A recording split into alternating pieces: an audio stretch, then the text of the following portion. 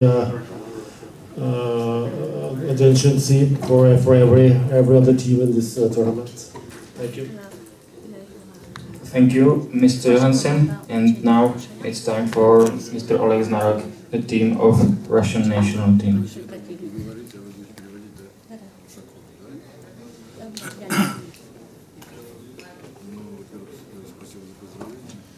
I would like to thank you for coming. Please maybe to the microphone because of Russian uh, uh.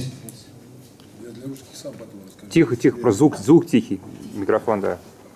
Они не слышат, может Я быть. потом с тобой. Да, да, ну, нужно не слышат. А как, я же не певец. Работает хорошо, все хорошо. Неплохой первый период, неплохое начало. Uh, the first period was not bad. А, неважное начало второго периода.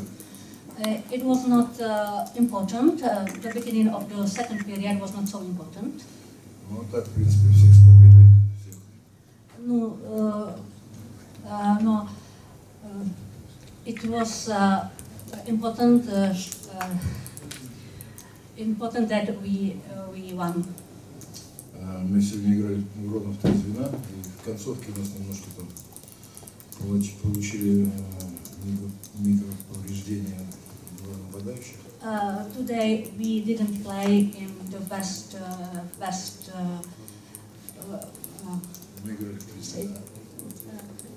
Три звена играли. uh, uh, we played. Uh, we didn't play in the best. Uh, Три линии.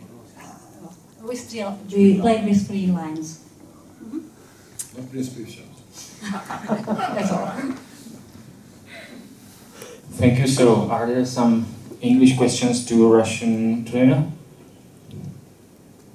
No, or some questions to the Norwegian trainer, or the head coach of Norway? If not, we can finish that press conference and uh, you could continue in Russian language. Thank you very much.